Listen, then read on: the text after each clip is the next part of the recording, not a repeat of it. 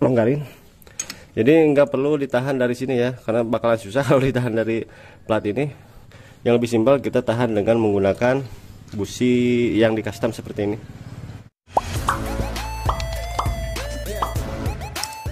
Oke untuk membuka mur bagian kipas dudukan kipas atau plat kita buka dulu atau kita bongkar dulu. Ini businya nanti kita ganja dengan busi custom seperti ini karena ini ada bau 12 yang kira-kira ada 4 sentian lah. Ini buat menahan piston nanti waktu kita melonggarkan mur bagian kipas ini ya. Kita buka dulu. Ini lumayan ya alat ini sangat membantu sekali. Ini kita masukkannya ke sini.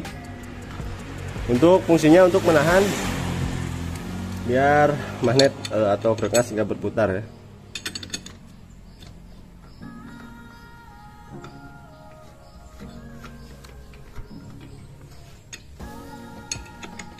lalu aja lalu kalau udah bus, businya udah terpasang seperti ini kita longgarin.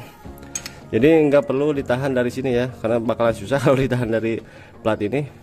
Yang lebih simpel kita tahan dengan menggunakan busi yang di custom seperti ini. Ini dua tak semua bisa pakai dengan alat ini ya. Ini lebih simpel lebih murah dan ini dijamin aman 100% karena saya uh, di komenan biasanya dulu kan pernah saya buat konten seperti ini di komenan. Katanya itu bang bahaya gak atau bikin pecah piston gak ini dijamin 100% gak bakalan ya. Karena saya udah bertahun-tahun pakai trik ini ya. Oke langsung aja kita buka. Ini dijamin 100% aman gak bakalan jebol pistonnya